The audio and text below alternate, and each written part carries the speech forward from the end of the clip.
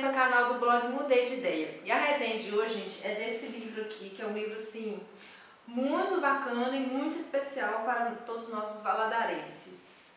O livro é Lantejoulas ao Vento. Gente, vou colocar a capinha aqui do lado. Lantejoulas ao Vento, Auge e Decadência do Carnaval de Governador Valadares, da Zana Ferreira.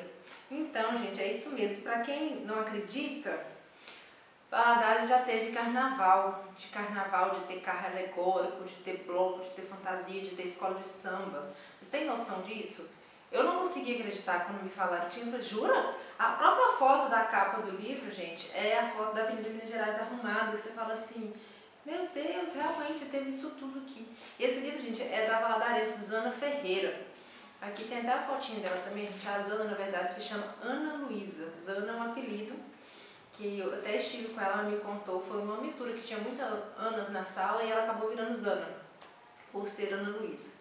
E ela é jornalista e também ela é mestre em História, cadê? História Social. Aí, o que que acontece? Esse livro, ele na verdade foi fruto do TCC dela, se não me engano, jornalismo, e no mestrado ela fez algumas alterações e transformou ele em livro. E aí que ficou o desafio, para mim, pelo menos, de ler esse livro, que eu pensei assim, tá, gente, o livro fala de história. Independente se é história da cidade ou não, eu preciso confessar.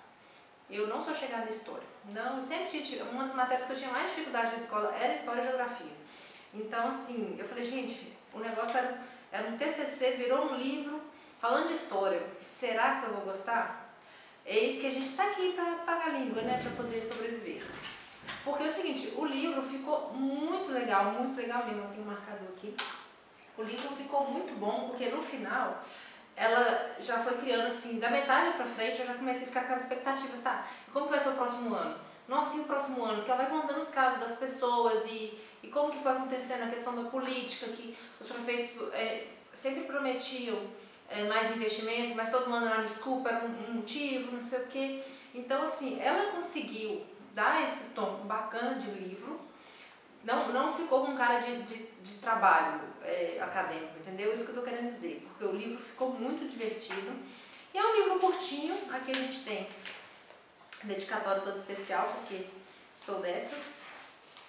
E eu achei legal também, gente, o jeito que ela dividiu no sumário aqui. Aqui no a, o layout em si não tem é, é um layout comum mesmo, mas eu falo assim, é, ela dividiu os capítulos em blocos, então ela colocou o sábado, o domingo, a segunda, a terça-feira gorda e a quarta-feira de cinzas. Então assim, eu achei muito legal como que ela foi dividindo, como que ela conseguiu ter essa visão de pegar todo, porque por exemplo, o livro chama Auge e Decadência do Carnaval, então ela pegou toda a história e colocou nos dias do carnaval. Então, assim, foi vendo que fez sentido a divisão, sabe? Eu achei muito legal a forma como ela, ela fez essa divisão, eu gostei muito. Então, assim, daqui eu já dei uma animada, né?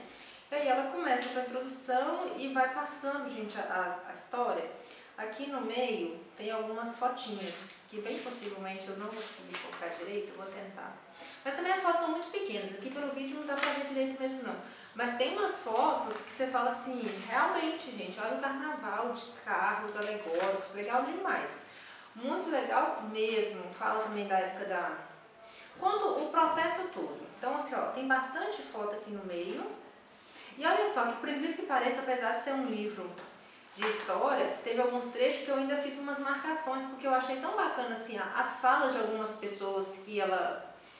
É, que ela foi passando de das pesquisas dela, né? Porque ela contou que ela fez as pesquisas, vocês não imaginam, ela foi no, arquivo do Diário do Rio Doce para poder pesquisar essa reportagem da época, buscando pessoas, informações e dados históricos para poder conseguir montar esse livro. Então, assim, o projeto todo é muito legal. E aí, o que, que eu te digo aqui? É, o, o, livro, inclusive, mostra que o carnaval, eu não tinha noção que tinha ido até mais ou menos quando eu era bebezinho, ainda tinha o restinho do carnaval, sabe? Eu pensei que era, tinha acabado bem antes disso, do meu nascimento.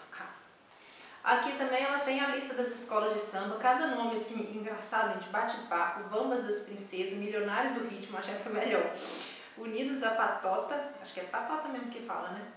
Bafo de Bode, Unidos do Morro, ixi, tem os nomes aqui das escolas, e tem os blocos também, muito, muito, muito legal mesmo o livro. Eu acho que é um tipo de livro, gente, que Lá na biblioteca pública tem, vende na leitura e, se não me engano, todas as escolas públicas de Valadares, eu, se não me engano, ela falou que fez doação. Então, assim, é um tipo de livro que não tem desculpa para não ler. Eu acho que todo valadarense tinha que ler para conhecer um pouco mais da sua história, sabe? Porque é, conta muita coisa que está registrado de uma forma, ela pegou um monte de informação que estava assim perdida, aleatória, em forma de casos mesmo que talvez o avô contava para o neto, mais o que estava no jornal, então ela conseguiu juntar isso tudo num formato histórico. Então, assim, até então a gente não tinha isso. Se fosse falar do carnaval valadarense, era era vento, né? E, e assim, e falando em vento, gente, eu achei o nome muito massa, o Volante Jogas ao Vento. Eu acho assim que ela conseguiu, é o que eu tô falando, conseguiu colocar, transformar tudo em livro mesmo e não em trabalho, porque Lantejoulas ao Vento eu acho que diz tanto sobre o processo mesmo que quando tá alegre, tá pra cima e ao mesmo tempo ao vento, no sentido de que passou e tal, ficou top de linha esse livro, sério mesmo, gente. Toda valadarense tinha que ler. Então é isso, gente. É, acho que eu não tenho muito mais o que falar sobre o livro. Aqui ele. Deixa eu ver. É, acabou. Acabou mesmo. É isso aí, valadarenses, por favor, leiam, porque a gente precisa conhecer mais a nossa história e valorizar o trabalho também tão bacana que a, que a Zana fez, beleza? Então é gente, se você gostou do conteúdo desse vídeo e ainda não é inscrito, aproveita para se inscrever. Se você gostou também, deixa um like para ajudar na divulgação do vídeo. E um beijo e até o próximo vídeo. Tchauzinho!